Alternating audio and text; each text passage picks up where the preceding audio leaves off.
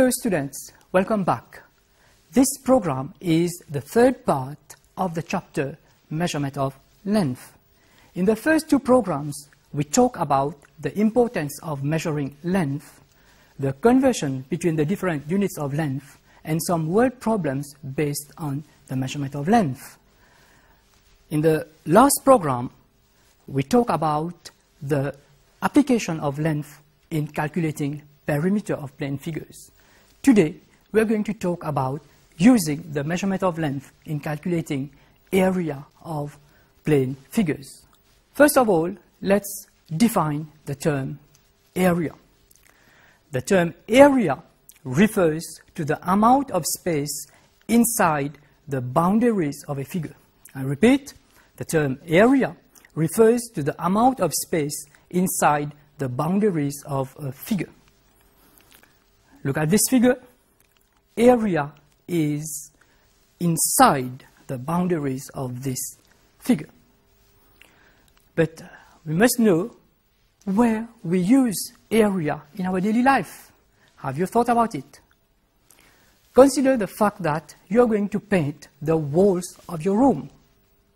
You will need to consider the area of the walls so that you can decide on the amount of paint to buy. Still in your room, if you want to put tiles, you need to calculate the area so that you can determine how many tiles will fit in. In fact, many people, such as builders, architects, carpenters, farmers, uses area as part of their daily job. For example, if you ask an architect to design your house, first he must know the area of the plot of land where you want to build your house. Secondly, he must know what is the area of the house that you want to build. You must have seen farmers working in their vegetable gardens. These farmers use area to calculate the number of seeds or amount of fertilizers to use. As such, there are many other sectors where area is the basic requirement for practical purposes. Now, let's see how to calculate area of two-dimensional figures. The area of a shape can be easily determined by just placing the shape over a square grid.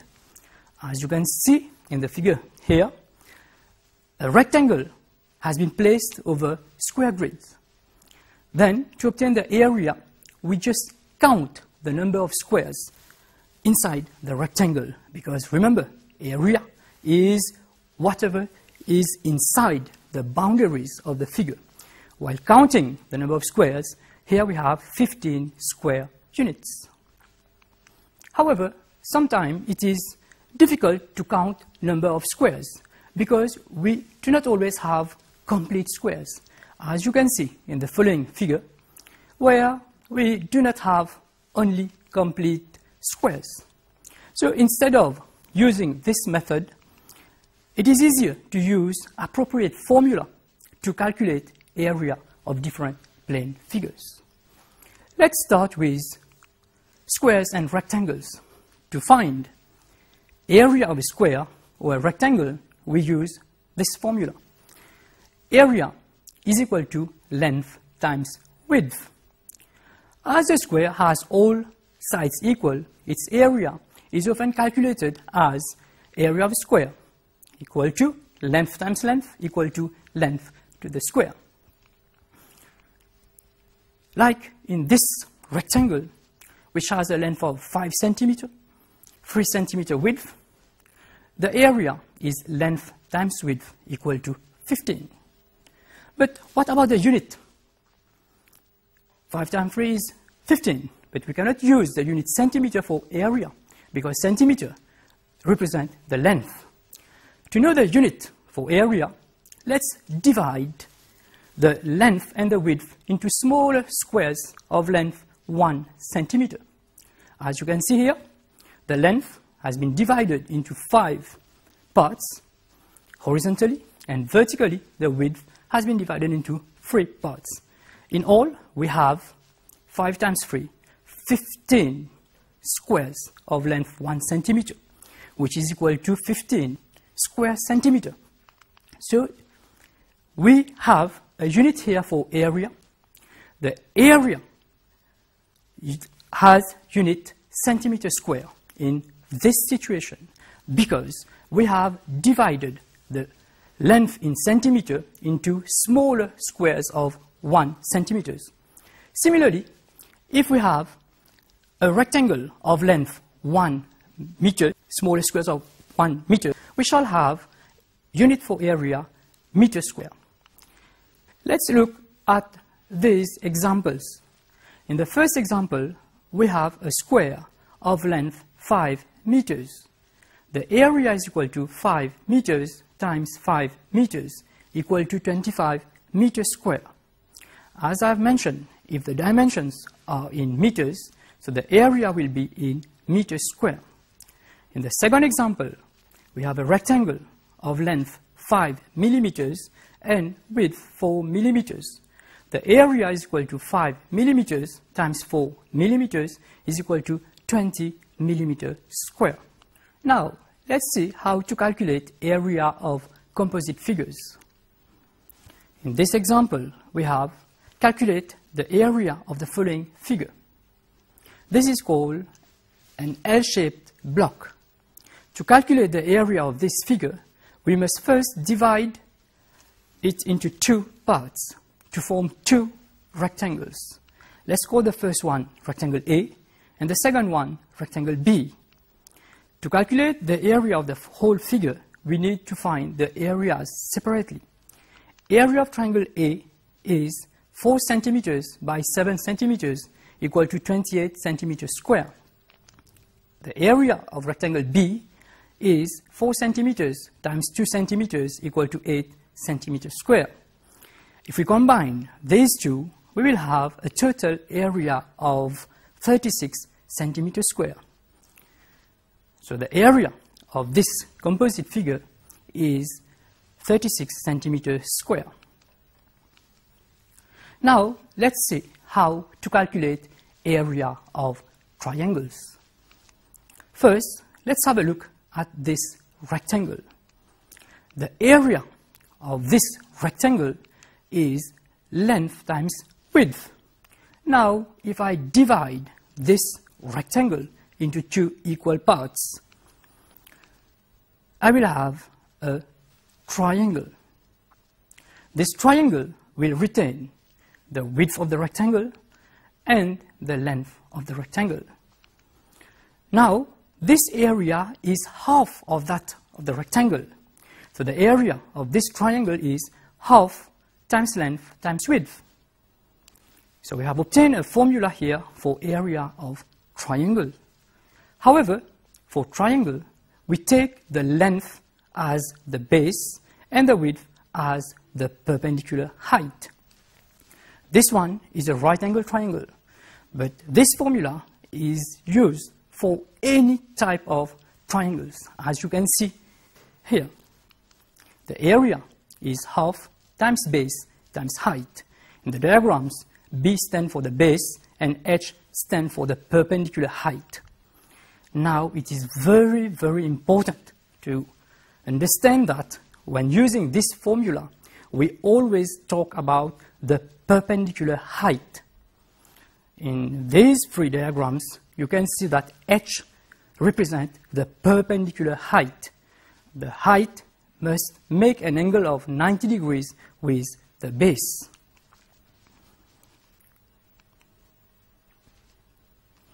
Now, let's see some examples. We have two different examples here. In the first one, the area is half times base times height, half times 4 times 5, which makes 10 centimeters square. The second one, the area is half times base times height, again, equal to half times 10 times 6, equal to 30 centimeters square. Let's see how to calculate area of parallelograms. Do you know what is a parallelogram? If not, a parallelogram is a flat shape with opposite sides parallel and equal in length. This is called a parallelogram. To calculate the area of a parallelogram, take the parallelogram as you can see. The figure here, we cut the side which is colored blue and paste it to the right hand on the, of the second figure. Now we obtain a rectangle. The height of the parallelogram here is the width of the rectangle and the base is the length of the rectangle. So area of rectangle is length times width. Since both figures have same area, we conclude that the area is base times height. So area of the parallelogram is the base times the height. Again, here we are talking about perpendicular height, same as for triangles. Area of parallelogram is base times height. Let's take an example. This is a parallelogram with base 8 centimeters and height 6 centimeters. The area equal to base times perpendicular height is equal to 6 times 8 equal to 48 centimeters square. A rhombus. Do you know what is a rhombus? A rhombus is a parallelogram with all sides equal.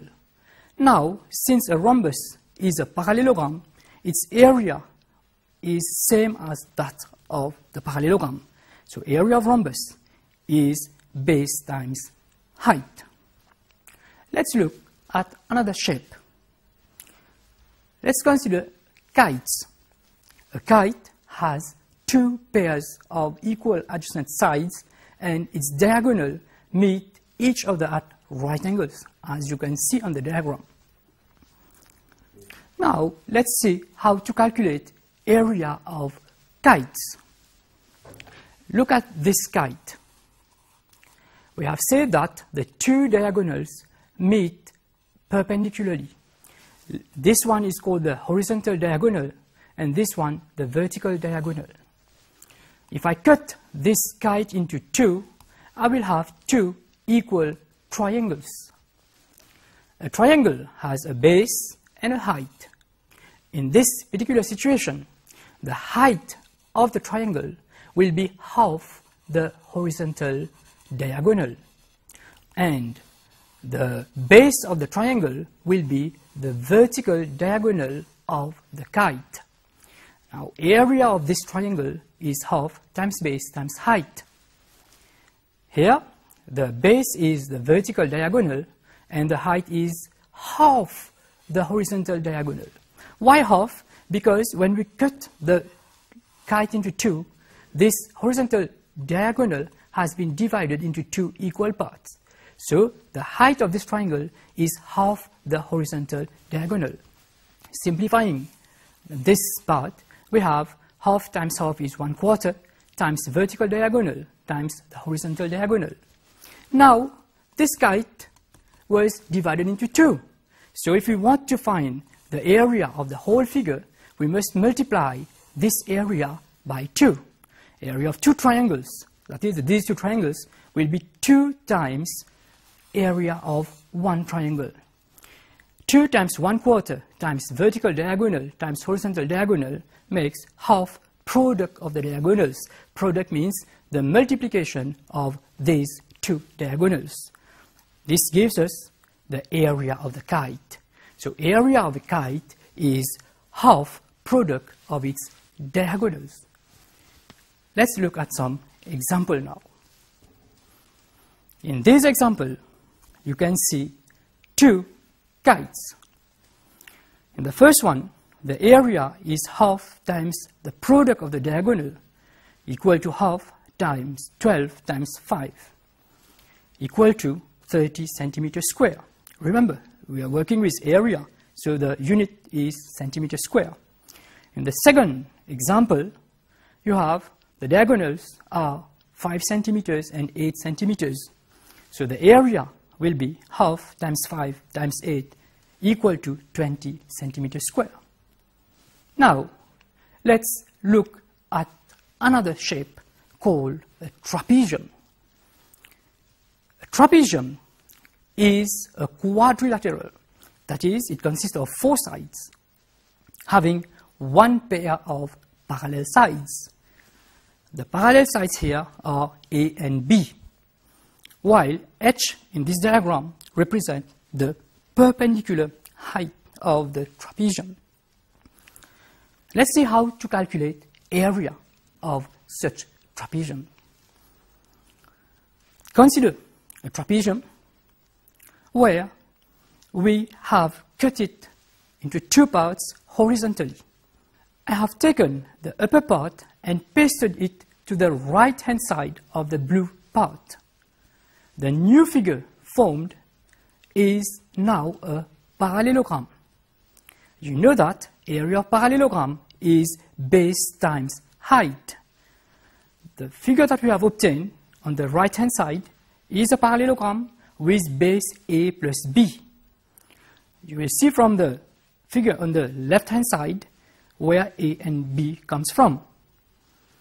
The height of the parallelogram is half that of the trapezium because we cut the trapezium into two equal parts. So here we have area equal to half h times a plus b.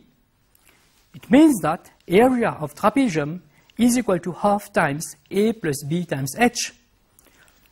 A and b were the parallel sides of the trapezium. So we write area of trapezium as half times sum of parallel sides times height. Now, let's see how to calculate area of trapeziums in these two examples. In the first one, we have a trapezium with two parallel sides. The upper part is 1.6 meters and the lower part is 4 meters. We have two parallel sides, 1.6 meters, 4 meters, and the perpendicular height 2 meters. So the area equal to half sum of parallel sides times height. Here it is half times 1.6 plus 4 times 2 equal to 5.6 meters square. The second trapezium, we have area is equal to half sum of parallel sides times height again. So half times 2.9 plus 1.3 times 0.9. Now you must always remember while doing calculation, you must always respect order of operation. So you add 2.9 with 1.3, then you multiply by half and 0.9. We cannot divide 2.9 by 2. You have learned it in the chapter order of operations. Here, the area is 1.89 centimeters square. Now, let's look at conversion of one unit of area to another. We have seen that if we have length in centimeter, the area will be in centimeter square. If you have length in meter, the area is meter square. If length is in millimeter, the area will be in millimeter square. Same for kilometers. So you can see that we have different units for area. You know how to convert units of length, but it is not the same for area. I will show you why. Consider a square of length 1 centimeter. The area of this square is 1 centimeter times 1 centimeter. You know that in 1 centimeter there are 10 millimeters. So 1 centimeter is 10 millimeters times again 10 millimeters. So the area of the same square is 10 times 10 is 100 millimeter square. If I use centimeter, I will have 1 centimeter square. But in millimeters, we have 100 millimeter square. So 1 centimeter square is equal to 100 millimeter square. In one centimeter, we have 10 millimeters, but in one centimeter square, we have 100 millimeter squares. So you, that must be very clear to you that the conversion of units for length is not the same as conversion of units for area. Similarly, if we have a square of length 1 meter, the area will be 1 meter times 1 meter equal to 1 meter square. In 1 meter we have 100 centimeters and in 1 meter here we have 100 centimeters. If we multiply 100 by 100 we will have 10,000 centimeters square. So in 1 meter square we have 10,000 centimeters square. Similarly, in 1 kilometer square, we have 1,000 meters times 1,000 meters equal to 1 million meter square. Now, let's see how to convert between the different units of area. We have kilometer square. To convert kilometer square into meter square, we multiply by 1 million. To convert meter square to centimeter square, we multiply by 10,000.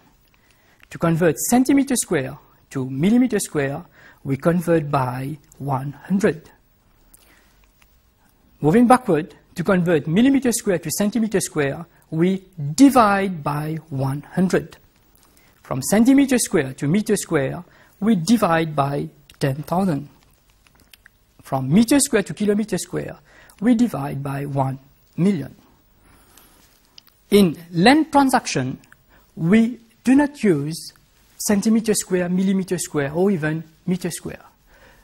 Most in Mauritius, we use units like toises, perches, arpents, or hectares. Maybe these words are new to you. Let's see the connection between these terms, toise, perches, arpent, and hectare, with meter square. In one toise, we have 3.8 meter square. In one perches, we have 42.21 meter square. In one arpent, we have 4,221 meter square. And in one hectare, we have 10,000 meter square. Now, let's have a look of how to do the conversion between the different units of area. Here we have 15 centimeter square to millimeter square. We must remember this figure same as for conversion of length, where I have explained to you that this picture is very important while doing conversion of units. Looking at this figure, to convert from centimeter square to millimeter square, you will see that we must multiply by 100. So 15 centimeter square is equal to 1,500 millimeter square. Now we have to convert 4.5 meter square to centimeter square. From meter square to centimeter square, we must multiply by 10,000. So 4.5 meter square equal to 45,000 centimeter square. If we now have to convert 55 millimeter square to centimeter square, we must divide by 100. So the answer is 0.55 centimeter square. Now, I will give you some exercises for practice. In these four diagrams, you need to calculate the areas